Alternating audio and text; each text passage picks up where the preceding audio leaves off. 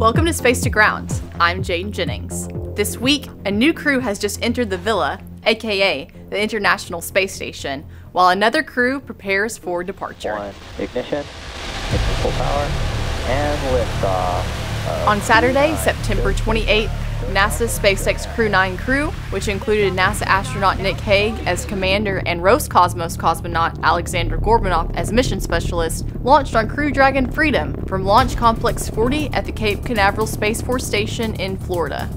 Following a smooth 28 hour ride uphill, Freedom docked to station on September 29th.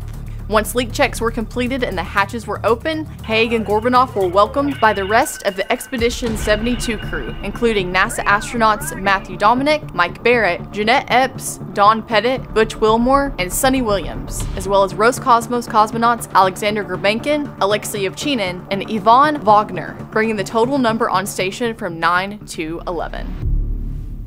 Crew 9 will be working on tons of experiments while in space, including repairs to an external telescope on station called NICER on an upcoming spacewalk.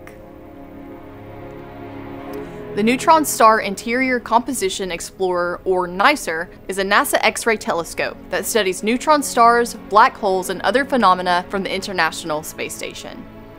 The telescope recently experienced a light leak that allows sunlight to interfere with daytime measurements. During an upcoming spacewalk, they will conduct a patch repair on NICER, which is designed to cover some of the damage, returning the instrument to around the clock operations. All good things must come to an end, and for four crew members, it's almost time to leave the orbital outpost.